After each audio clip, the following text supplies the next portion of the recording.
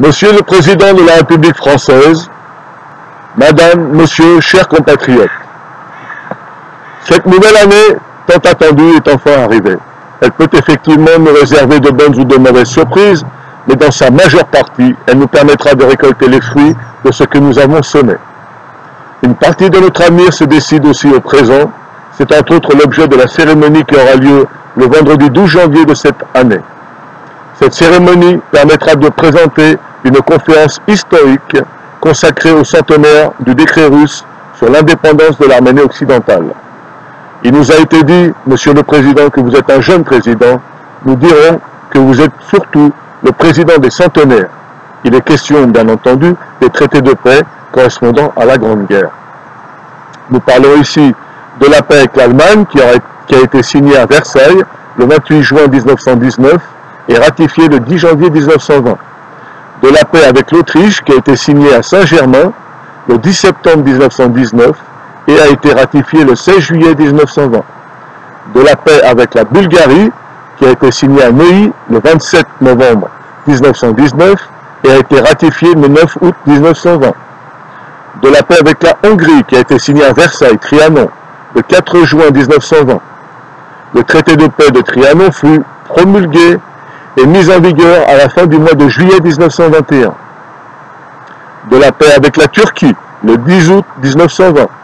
11 puissances alliées signent le traité de Sèvres. La cérémonie a eu lieu à 4 heures de l'après-midi à Sèvres. Les puissances signataires, en plus de la Turquie, étaient la Grande-Bretagne, la France, l'Italie, le Japon, l'Arménie, la Belgique, la Grèce, la Pologne, le Portugal, la Roumanie et la Tchécoslovaquie. La Serbie et le Hejaz n'ont pas été représentés. Le traité arméno-turc fut ratifié et promulgué le 24 juin 2016 par l'Arménie occidentale. En droit public, la promulgation est l'acte par lequel le chef de l'État constate qu'une loi a été régulièrement adoptée par le Parlement. À partir du moment où un décret de promulgation a eu lieu, le texte est intégré dans l'ordonnancement juridique et entre en vigueur. La promulgation rend le texte exécutoire, il doit être exécuté. En revanche, la publication du texte juridique rend le texte opposable, c'est-à-dire que les tribunaux peuvent en sanctionner le manquement.